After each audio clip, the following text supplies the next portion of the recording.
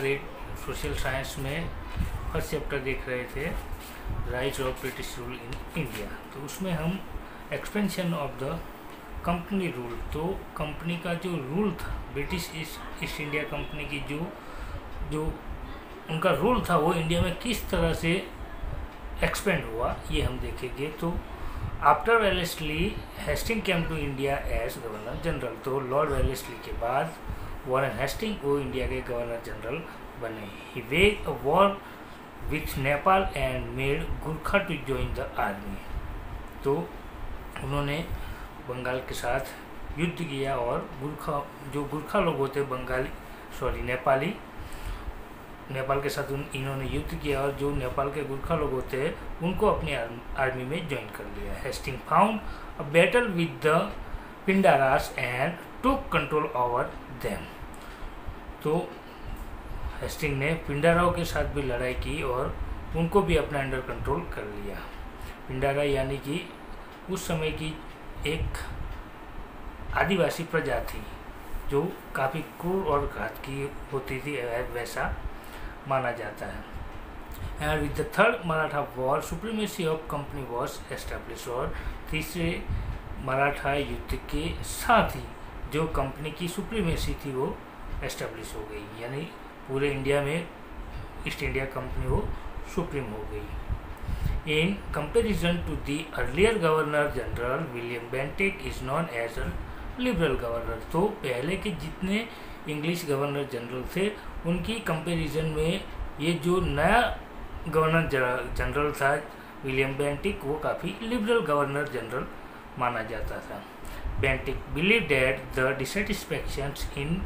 different state due to the imperialist policy adopted by previous governor general could not bring about any unity. तो Bentinck ये मानते थे कि जो पहले के गवर्नर जनरल थे, उन्होंने जो imperialist policy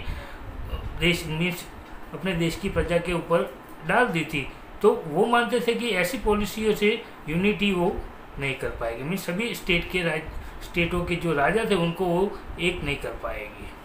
So he was very liberal in his days तो इसीलिए वो कोई भी काम करते, उसमें काफ़ी लिबरल रहते। Then Dalhousie came to India as the governor general in 1848 he was a fierce imperialist Dalhousie adopted the policy of annexation for the expansion of the company and British imperialism in India तो उसके बाद Dalhousie as a governor general India में आए, जिनका समय था 1848 यानी 1848 तो वो एक फियर्स इम्पीरियलिस्ट थे। उन्होंने कई सारी पॉलिसीज़ एडोप्ट की थी। उसमें से एक पॉलिसी थी अनेग्रेशन पॉलिसी और जिसकी वजह से क्या था कि इस पॉलिसी की मदद से जो ब्रिटिश एम्पायर था, उसका जो एक्सपेंशन वो पूरे इंडिया में हो Besides being uh, imperialist, Dalhousie was also reformist. तो एक imperialist यानी कि एक शासनकर्ता होने के साथ साथ जो डेल हाउसी था वो रिफॉर्मिस्ट यानी कि समाज सुधारक भी था the first railway line in India between Mumbai Thane जो 1853 में चली थी वो डेल हाउसी के ही समय में चली थी उसके प्रयास से इंडिया में रेलवे शुरू हुई थी, ऐसा हम कह सकते हैं। Wireless system between India and England तो इंडिया और इंग्लैंड के बीच में जो वायरलेस सिस्टम हुई थी, वो भी डेल हाउसी के समय में ही हुई थी। And establishment of public work department यानी कहते हैं ना हम पब्लिक पी डब्ल्यू डी वो भी इसी के समय में एस्टेब्लिशमेंट इसकी हुई थी। English education etcetera English education उसने कंपलसरी कर दिया था उस समय में। कि ज़्यादा से ज़्यादा इंग्लिश एजुकेशन इंडिया में आए और ज़्यादा से ज़्यादा लोग इंग्लिश एजुकेशन को ले और इंग्लिश बोलना और पढ़ना सीखे। तो ये सभी जो समाज मीन्स रिफॉर्मर समाज के सुधारे थे, ये इसने किए थे। All introduce during his tenure तो ये जितने भी जो रिफॉर्म हुए थे, वो सभी उसके समय में ही हुए थे। He pass law to ban child marriage and advocate widow marriage तो उसने बाल विवाह को बंद करवा दिया, उसके ऊपर मीन्स बैन लगवा दिया और उसने विधवाओं का पुनर्विवाह करने के लिए भी उसकी हिमायत की, कि उसने कहा कि नहीं, विधवा तो क्या उसका आप पुनर्विवाह आप कर सकते हो उसे? उसके बाद देखते हैं within hundred years from the battle of Plassey in 1757 British rule and the empire both expanded but the process they had to face the satisfactions of the Indian state and this was manifested in the form of struggle for independence in 1857 1857 तो hundred Plassey की लड़ाई के सौ साल बाद सौ साल बाद ब्रिटिश रूल पूरे इंडिया में अच्छी तरह से फैल गया पर उनकी जो पॉलिसियाँ थी, उनके जो नज़रिया था इंडियन लोगों को देखने का, वो काफ़ी क्रोध था, जिससे लोगों में डिससेटिस्फेक्शन फैला और इसका नतीजा क्या हुआ कि 1857 में इंडिपेंडेंस स्ट्रगल शुरू हो गई। उसके बाद economic impact of the company तो when we evaluate the hundred year of company rule in India तो जब हम कंपनी के सौ सालों के रूल को देखेंगे उसके ऊपर नज़र दौड़ाएँगे तो वी रियलाइज़ डेट हमें ये रियलाइज़ होगा कि India which had an inevitable position in the world in the previous century तो भारत जो अगले दशक को मीन्स अगली सदियों में जो आ, उसकी पोजीशन थी कि उसे एक इनअवेलेबल पोजीशन थी हमारे देश की, कि उसे सोने की चिड़िया कहा जाता था। वो become merely a country that produce raw material for England and a prospective market for good produce in factories तो उसमें मैरिली रो मटेरियल उत्पाद होता था और जो भी उत्पाद होता था वो सभी इंग्लैंड की फैक्ट्री में पहुँच जाता था। Bengal exported cotton cloth raw silk sugar jute muslin but after the dual power policy the glitter of economic prosperity of Bengal faded तो इसके साथ साथ देखें तो हम उस समय में बंगाल जो है वो cotton cloth raw silk sugar jute muslin ये सभी एक्सपोर्ट किया करता था। पर जैसे ड्यूअल पावर पॉलिसी को अंग्रेज़ों ने लागू किया, इसकी चमक भी बंगाल की जो व्यापार था, वो भी धीरे धीरे कम होने लगा। द ड्यूअल पावर पॉलिसीज़ यानी कि द्विमुखी शासन पद्धति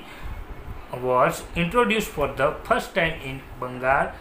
whereby the power of collecting revenue was with British तो ये जो पॉलिसी है ड्यूअल पावर पॉलिसी वो सबसे पहले बंगाल में इंट्रोड्यूस लगा, की गई थी, यानी कि बंगाल में ही लगाई गई थी, और इसमें यह था कि रेवेन्यू कलेक्ट करने का अधिकार ब्रिटिश एम्पायर के पास में था। Within the responsibility of people's welfare was with the nawab तो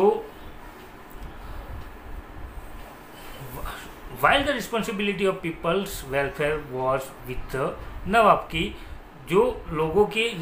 वेलफेयर की रिस्पॉन्सिबिलिटी थी, वो नवाब के हाथ में होने के बावजूद भी the British got the power without any responsibility and the nawab had the responsibility without any power तो जो पावर था वो पूरा ब्रिटिश ईस्ट इंडिया कंपनी के हाथ में था। नवाब तो ओनली नाम से था यानी कि वहाँ जो गर, जो थ्रोन हुआ करता था नवाब का वो नवाब के पास ही रहता था पर असली जो राज था वो ब्रिटिश हुकूमत ही किया करती थी उस समय में। This was known as subsidiary alliance system which ruin Bengal economically तो इसे कहते हैं सब्सिडरी अलायंस सिस्टम जिसने बंगाल को पूरी तरह से इकोनॉमिकली ख़त्म कर दिया था। The unfair revenue collection policy by the company made the Indian peasant debtor तो जो अनफेयर रेवेन्यू कलेक्शन था, ये कंपनी का, वो जितने भी हमारे फार्मर थे, उसे ज़्यादा मीन्स और तक मीन्स दबाते गए उन्हें। ज़्यादा से ज़्यादा पहले से ही हमारे जो फार्मर थे, वो दबे हुए थे, कर्ज के बोझ के तले, और ये जो पॉलिसियाँ लगाई ब्रिटिशरों ने, उसकी वजह से वो और भी दब गए। The British government impose unfair taxes on the Indian cloth industry तो जो ब्रिटिश गवर्नमेंट थी उसने जो इंडिया की जो क्लोथ इंडस्ट्रिया इंडस्ट्रिया थी, उसके ऊपर कई सारे ऐसे अनफेयर टैक्सेस लगा दिए। They adopted various deceitful practices to ruin the prosperous Indian industry. तो उन्होंने कई सारी ऐसी डेसिपुल प्रैक्टिसेस यानी कि कई सारे ऐसे काम किए जिसकी वजह से जो हमारी इंडियन इंडस्ट्री था इंडस्ट्री थी, उसकी जो प्रॉस्पेरिटी थी, वो धीरे धीरे ख़त्म हो गई। And because of which the completely collapsed और इसके उसकी वजह से हमारी जो इंडस्ट्रियाँ थी वो धीरे धीरे कम्प्लीटली कोलेप्स हो गई। The Indian artisans become poor and unemployed. The company traders uh, force the weavers of Bengal to sign a contract to providing definite quantity of cloth in a short period. If the weavers refuse, he would be punished by the lash और jail तो हमारे जो Indian artisan थे वो धीरे धीरे और गरीब हो गए और अनएम्प्लॉयड भी होते गए जो कंपनी के ट्रेडर थे, वो उन्हें, यानी कि व्यूवर्स को फोर्स करते, बंगाल के व्यूवर्स को कि भाई कॉन्ट्रैक्ट साइन करो। और जो भी उन्हें जितनी भी क्वांटिटी में जितना माल चाहिए, वो उन्हें, उनके तय के, तय तय किए गए समय के अंदर अंदर उन्हें मिल जाने चाहिए। अगर ऐसा करने में व्यूवर्स ऐसा करने को व्यूवर्स ना कहते तो या तो उन्हें पनिश किया जाता है या फिर उन्हें जेल में डाल दिया जाता है। यानी कि जो गवर्नमेंट जो अंग्रेज़ सरकार कहती थी वही हमारे कारीगरों को करना चाहिए। और जितना भी टाइम पीरियड वो देती, उस समय के अंदर उन्होंने जितना काम किया दिया है हमें, हमारे आर्टिशंस को, वो सभी हम उनको पूरा करके देने का होता था अगर वो नहीं देते तो उन्हें जेल में डाल दिया जाता था, या फिर कोई दूसरी सजा की जाती थी। Before the arrival of company the Indian village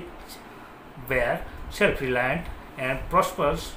but under the company rule they become dependent and poor तो जब कंपनी हमारे इंडिया में नहीं आई थी ईस्ट इंडिया कंपनी तब हमारे जो विलेजर्स थे वो सेल्फ रिलायंट हुआ करते थे और प्रॉस्पर यानी कि समृद्ध भी हुआ करते थे। पर जब कंपनी कंपनी इंडिया में आई और उस, उसने रूल करना शुरू किया तब हमारे जो लोग थे, हमारे फार्मर थे वो धीरे धीरे पुअर होते गए और दूसरों के ऊपर डिपेंडेंट होते गए। During the rule of East India company the first railway line between Mumbai and Thane and steamer service between India and England was start and develop of port in Mumbai Madras and Calcutta also took place तो इसी east India company के समय में ही हमारे India में सबसे पहले मुंबई और थाने के बीच में रेलवे शुरू हुई थी और मुंबई और इंग्लैंड के बीच में स्टीमर सर्विस भी ईस्ट इंडिया कंपनी के समय में ही हुई थी और कई सारे ऐसे बड़े बड़े पोर्ट इसी कंपनी के समय में एस्टेब्लिश हुए थे और डेवलप भी हुए थे, जैसे कि मुंबई, मद्रास, कलकत्ता, ये ये जो बड़े बड़े पोर्ट है, वो ईस्ट इंडिया कंपनी के समय में ही शुरू हुए थे। ब्रिटिश ईस्ट इंडिया कंपनी के जो रूल के समय सोशल इम्पेक्ट क्या हुई थी, ये हम देखेंगे अभी। तो during the British administration the spirit of freedom of speech and thought develop among people due to the development of newspaper तो ब्रिटिश एडमिनिस्ट्रेशन यानी ब्रिटिश uh, शासन व्यवस्था के दौरान ही न्यूज़ पेपर की डेवलपमेंट की वजह से लोगों में फ्रीडम ऑफ़ स्पीच और अपने थॉट एक्सप्रेस करने की जो आज़ादी थी वो लोगों को मिली थी। In the Indian society Certain wrong social customs, rites, and rituals were prevalent during this time, like sati system, female infanticides, child marriage, etc. तो इसी कंपनी के रूल के दौरान इसी समय में हमारे इंडियन समाज में कई सारे ऐसे सामाजिक कुरीतियाँ कुरिवाज ये फैले हुए थे जैसे कि सती सिस्टम फीमेल इन्फेक्टिसाइड या दूध पीती प्रथा चाइल्ड मैरिज सिस्टम ये सभी कुरीतियाँ, कुरिवाज हमारे इंडियन समाज में फैले हुए थे। Raja Ram Mohan Roy Durgaram Mehta, Behram ji Malabari etcetera were the stalwart whose role was instrumental in getting the law pass with the help of the Britishers तो उस समय के जो समाज सुधारक थे जैसे कि राजा राम मोहन रॉय दुर्गाराम मेहता बहराम जी मलबारी जैसे महान समाज सुधारों के प्रयासों से ही ये इन सभी कुरिवाजों को दूर करने के लिए एक लॉ पास किया गया ब्रिटिश गवर्नमेंट की हेल्प की वजह से। As administrative framework in India was English, English side there was a demand for people with the knowledge of English. तो हम ऐसा कह सकते हैं कि उस समय का जो एडमिनिस्ट्रेटिव फ्रेमवर्क था, वो इंग्लिश के ऊपर आधारित था। इसीलिए हम कह सकते हैं कि उस समय जितने भी लोग इंग्लिश को जानते थे, उनकी मांग, उनकी डिमांड ज़्यादा थी। English education began to be imparted in India due to the Lord Macaulay's and endeavours तो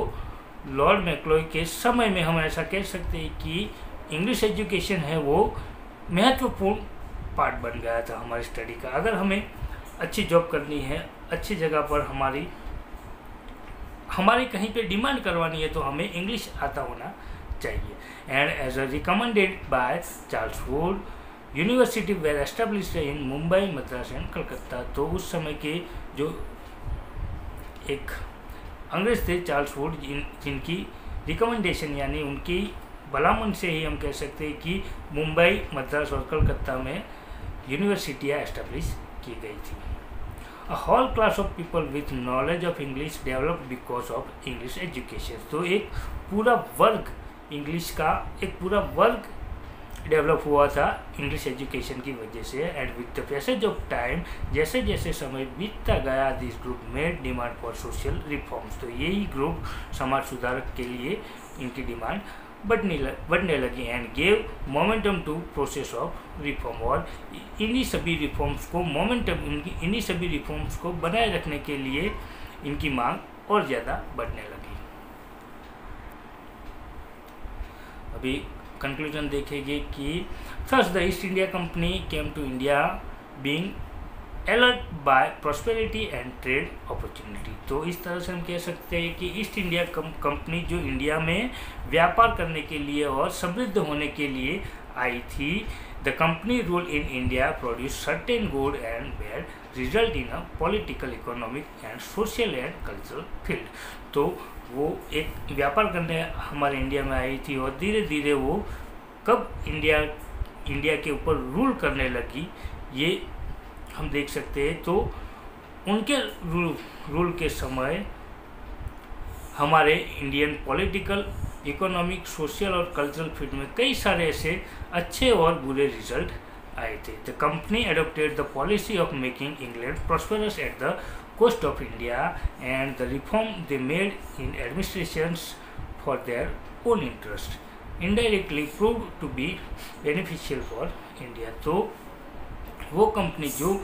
जितने भी रिफॉर्म करती वो सभी इंग्लैंड को प्रॉस्पर बनाने के लिए होते थे जो भी पॉलिसियाँ वो एडॉप्ट करती वो सभी इंग्लैंड के हक में ही होती थी और पर ये नहीं हुआ कि डायरेक्टली या इनडायरेक्टली कहीं ना कहीं से वो हमारे इंडिया के लिए भी बेनिफिशियल हो ही जाती थी। तो ऐसा कह सकते हैं हम कि अंग्रेज़ों के आने के बाद हमें कई सारे ऐसे फ़ायदे भी हुए, कई सारे ऐसे नुकसान भी हुए। ओके फ्रेंड तो यहाँ पर आपका फ़र्स्ट चैप्टर पूरा होता है। आपको इसकी एक्सरसाइज नोटबुक में लिख के मुझे सेंड करनी है।